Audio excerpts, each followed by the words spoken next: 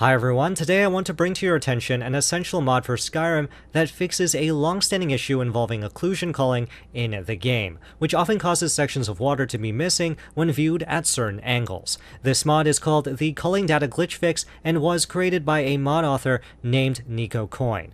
The College of Winterhold is where this problem predominantly exists, and this issue is present in both the original Skyrim and Skyrim Special Edition.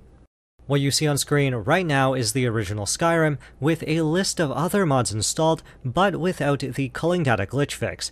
As you can see, sections of water are missing, most notably behind the mountain to our left, as well as near the center right of the screen. Now, with the culling data glitch fix installed, the issue is thankfully no longer present.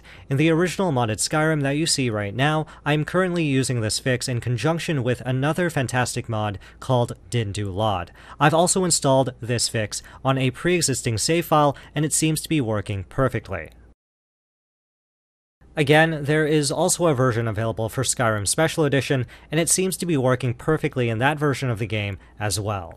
However, do bear in mind that there may be a performance hit on certain machines, but I personally did not notice an impact.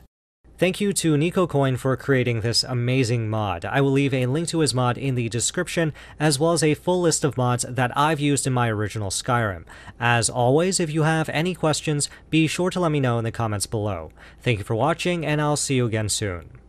Perhaps dating to just after the Dragon War. If so, I could use this to cross-reference the names with other later texts. Good. I'm glad you're making progress.